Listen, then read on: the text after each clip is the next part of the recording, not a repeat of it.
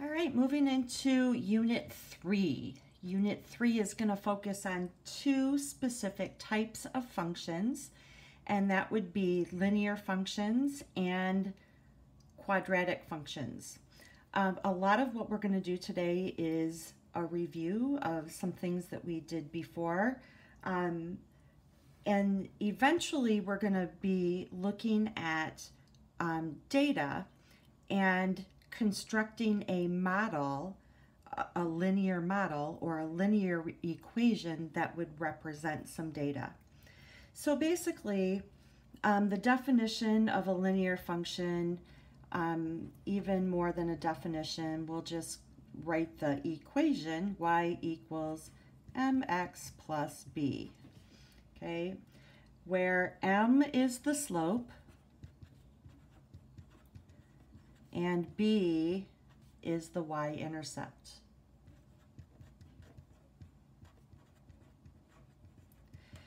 In every linear function, the domain is all real numbers.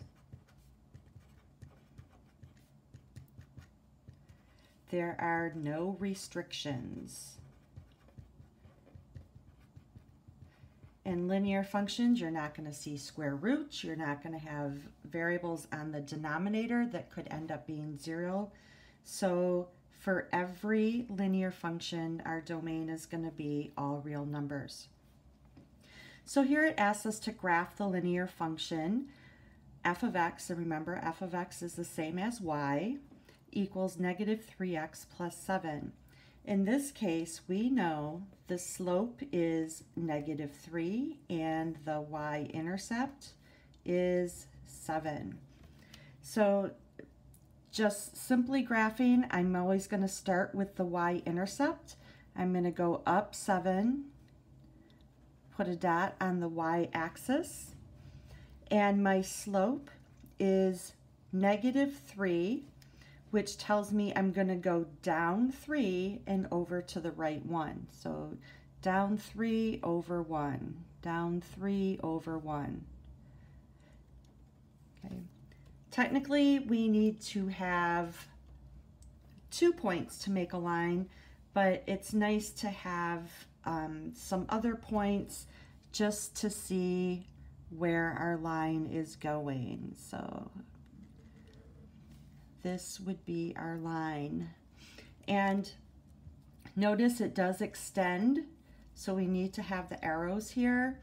And I just want to address the domain again. Any x value that we put in our function is going to give us a y value. So we can put in an x value that is way out to the side here. I could use 23. I could use 107 okay? Any x value will work. And same thing with negative. I can put in negative 105 and calculate, and I will get a y value. We addressed average rate of change in the last unit, and we know that that is the same as slope. And we can look at this as the change of y, sorry, change of y over the change in x.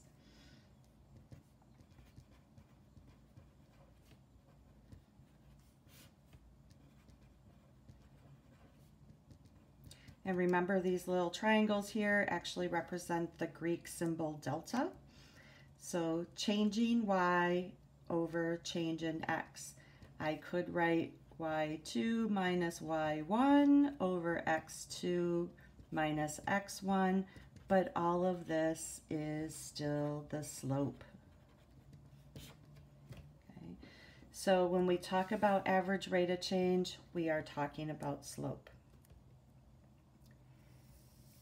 In example two, we see a set of data and what is at, what they're asking us to do is to find the average rate of change in the data in the table below.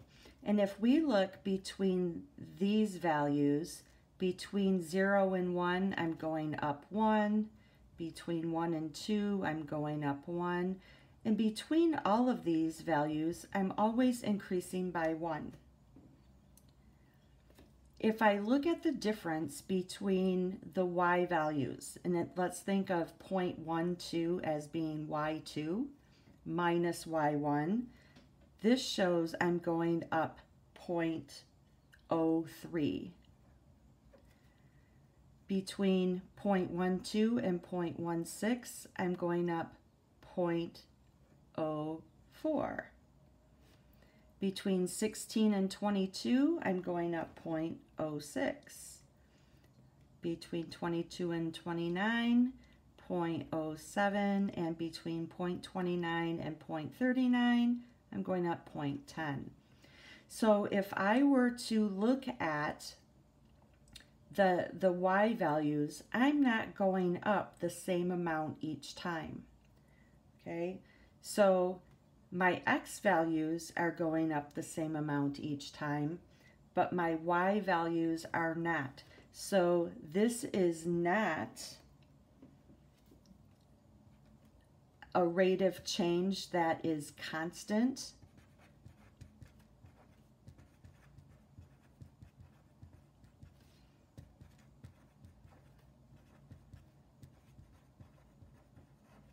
Okay, all of these numbers are going up by different amounts. So if an average rate of change is constant, the function is linear.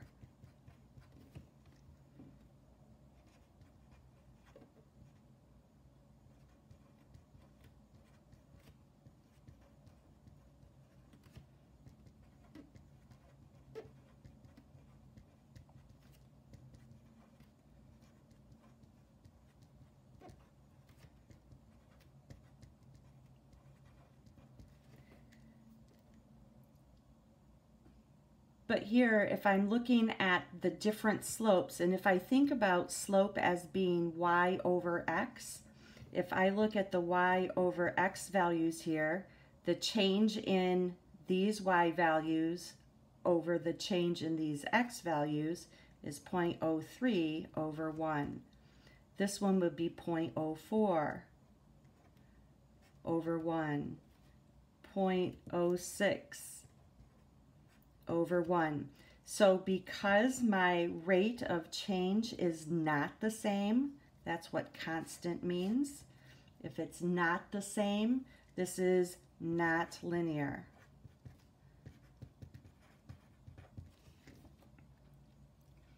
All right, looking at the next set of data, I have um, X values that are representing some age and I have Y values that are representing the maximum number of heartbeats.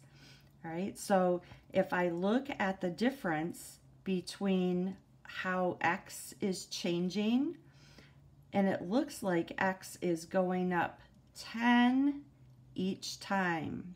50 to 60 is plus 10. 60 to 70 plus 10. That's a 1.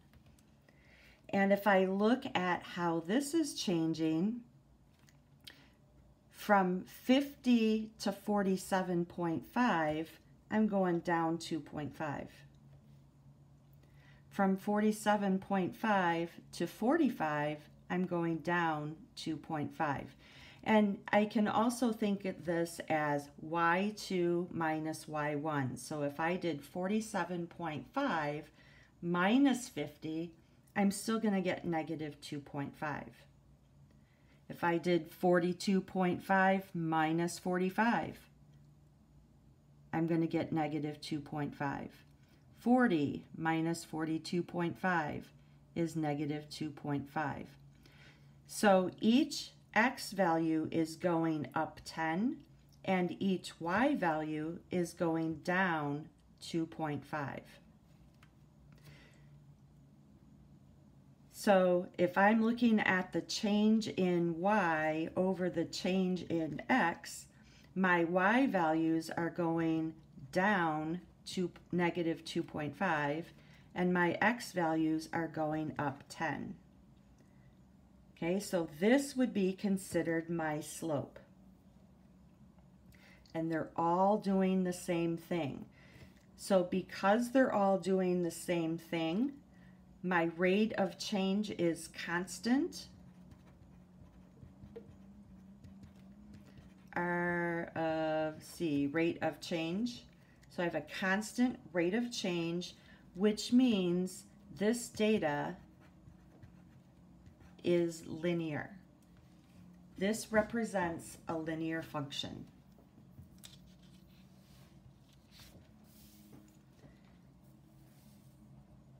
On the next page, we have increasing, decreasing, and constant functions. If a function is increasing, it's going up from left to right. It has a positive slope. If it is decreasing from left to right, it is decreasing. And it has a negative slope. And if a function is a constant function, I have a horizontal line. And my slope is zero. Okay, remember um, back in the last section, we looked at horizontal lines and the slope of those were zero. In example three, we're just determining whether the following linear functions are increasing, decreasing, or constant. So up here, when I was describing um, those functions, I paid specific attention to the slope if it's a positive slope, it's increasing, negative slope is decreasing, and slope of zero is constant. So in this case, we know the slope is always the number multiplied by x. Okay, so the slope here is 5. It is positive 5, so this is increasing. Kind of a simple concept here. In this function, g of x, negative 2x plus 8, my slope is negative 2, and because it's negative, it's decreasing. In part C, my slope is 3 fourths, and because this is a positive 3 fourths, this is increasing. And here, this is the same thing as 0 times x plus 7. So if you don't see the x term here, the x term was multiplied by 0, so my slope is 0, and this would be a constant function. Okay, also a horizontal line. All right, very simple concepts here. And in example four, we are looking at a real life situation. So we can call this a mathematical model. And it describes a book value. The book value is the value of an asset that a company uses to create its balance sheet. Some companies depreciate, depreciate means goes down, some companies depreciate their assets using a straight line dep depreciation so that the value of the asset declines by a fixed amount each year. The amount of the decline depends on the useful life that the company places on the asset. Suppose that a company just purchased a fleet of new cars for its sales force at a cost of $28,000 per car. The company chooses to depreciate each vehicle using the straight line method over seven years. That means that each car will depreciate, starting value is $28,000, and they are going over a term of seven years. So in a straight line depreciation, we would have $4,000 per year. So they're asking us to write a linear function that expresses, expresses the book value of each car as a function of its age. All right, so um, the first thing we need to do if we're writing a linear function, we need to identify what the slope is and what our y-intercept is.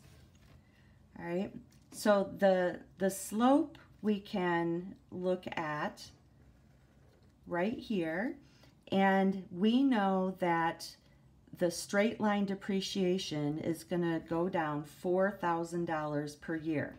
So 4,000 over 1 and it's decreasing so that would be negative 4,000 over 1.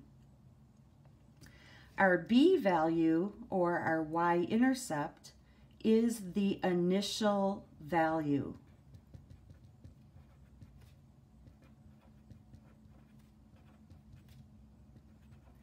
So in this case, the initial value of the car was $28,000.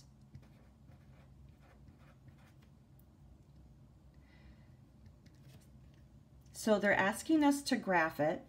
And when I'm graphing, I really have to think carefully about my units. And we need to label our axes and we know that one of our variables is um, the amount that the vehicle is worth. And another one of our variables is time. All right, so most of the time, time will be the independent variable. So we put that on the bottom and time is measured in years. And over here we have the value of the car. And we're going to measure that in thousands of dollars. So I'm going to write here, instead of writing $10,000, $20,000, $30,000 with all those zeros, I'm going to write in thousands of dollars.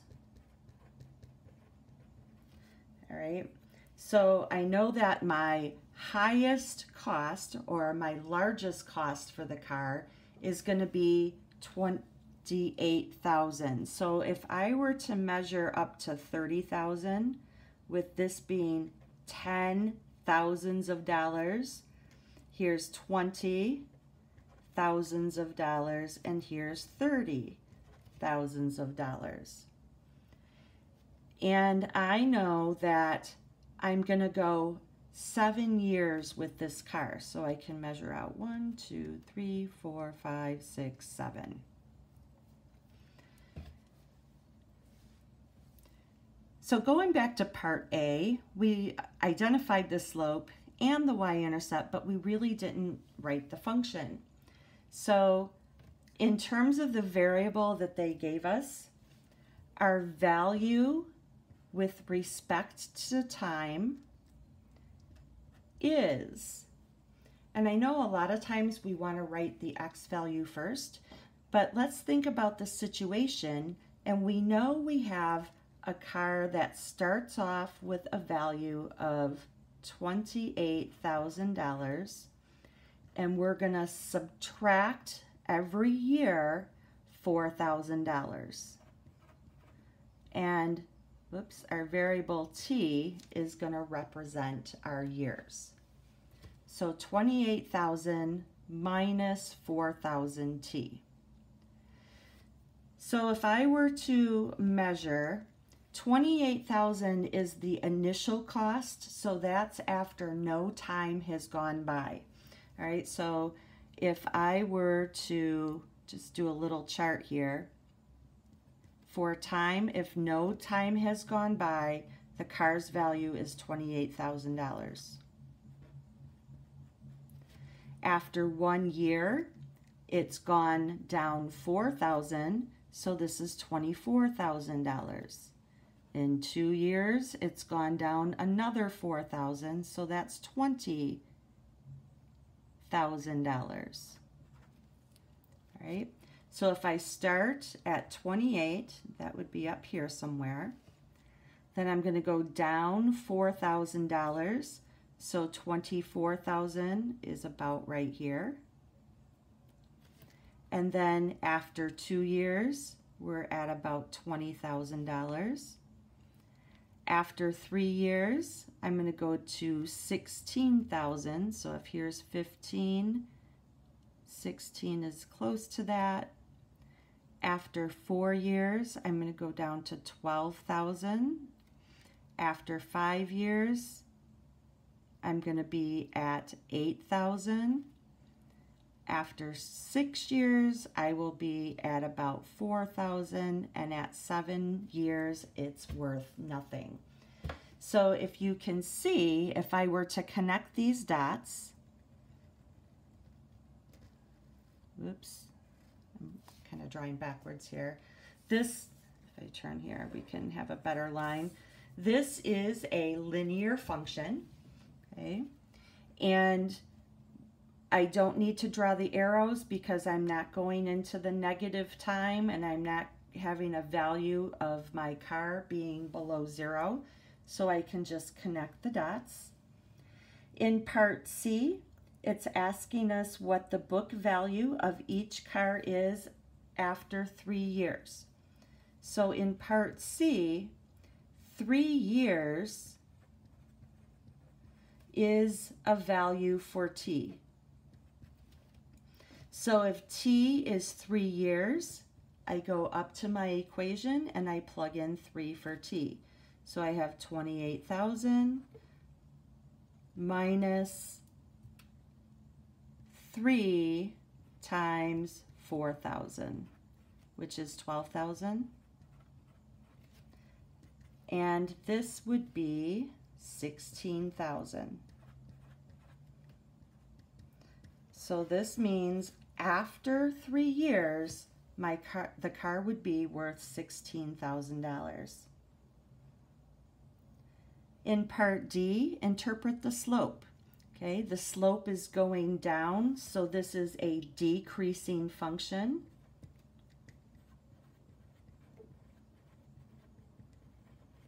And it's decreasing by $4,000 for one year or for each year.